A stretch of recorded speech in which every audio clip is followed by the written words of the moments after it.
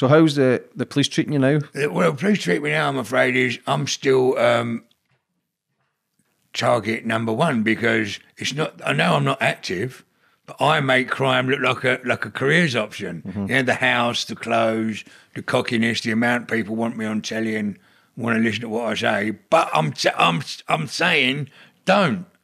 Yeah, I'm actually saying no, but I, I still get my house bugged. We're still followed. They still, if I have a, an audience with somewhere, they go to the place and went, listen, if you have Dave Courtney and his mates turning up to your premises, you won't have a license for a telly. So cancel it. You know, they go to the film directors and go, I don't want him in the film. Still? They go, yes, it's still up till last week. They go to the recording studio and say, if you have Courtney on this album, it's going to be looked at as a criminally organised. Is it criminal money that's done it? You know, it's, it's mental. It's mental. So you say as well for the was it the M20 or M25 where you said somebody tried to murder you? On the A2, A2. well, I was taking the police to court. I got nicked with the police, didn't I? I got well, I paid policemen all my life. Everyone knows that.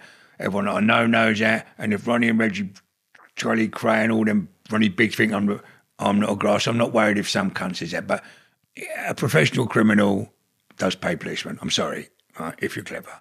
And when he got caught, he went, "No, he's not paying me. I'm paying Dave." Had that been believed, it would have got me shot.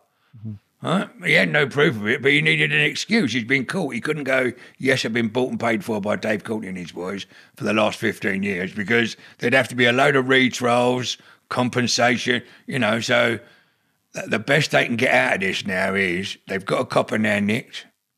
Right? I'm gonna. It's gonna come out that Dave Courtney's put a copper in prison. Blah blah blah blah blah.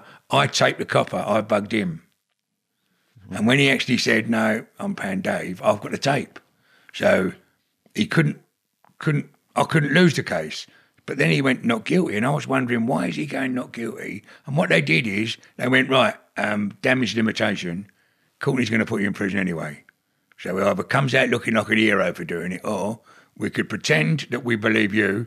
Say Courtney might be a grass for eight months, and that'll get some um, um, Chinese whispers going, right? And on the day the court case starts, you can change your plea to guilty. And if he ain't shot by then, it will have stopped all that. Oh, ain't Dave a funny bloke? He's running for mayor and everything. I had a mayor thing. And they did that. They genuinely said they believed him right up till the day I went to court, which I went to court dressed as a court jester. All of my friends, like, what are you doing? I shouldn't be here. What you, I, bu- I bugged him. You've heard it. You've got the tape. And you're still taking me to court and putting that in the paper.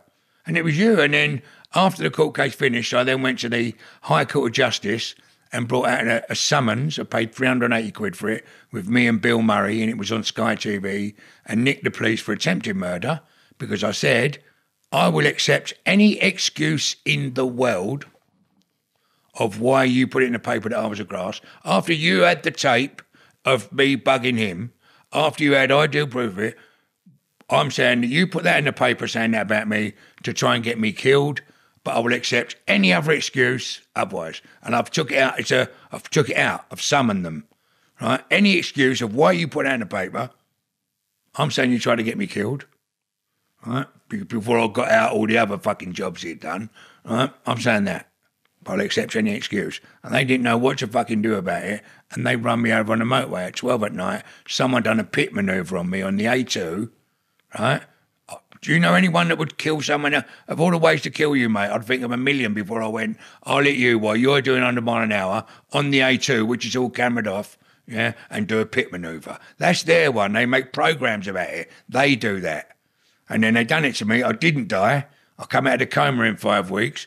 So I went, right, get the cameras. I'll show you who done it. And they went, it's the only day in its history that the A2 weren't cameraed that night. And behind me, just so, was, you can go and check all this out, Google it, was a unmarked police car that saw all of the accident that I had, took the se- 13 witness statements that I took, and then because I was in a coma for five weeks, they've lost them. When I woke up, there was, the police had lost the 15 witness statements. The police won't had no video footage of the thing. Does that not scare you, Dave? Then that And the insurance people, when they checked out all the car for, um, you know, 'cause it was really written off, I rolled it on the motorway, found five monitoring devices in it.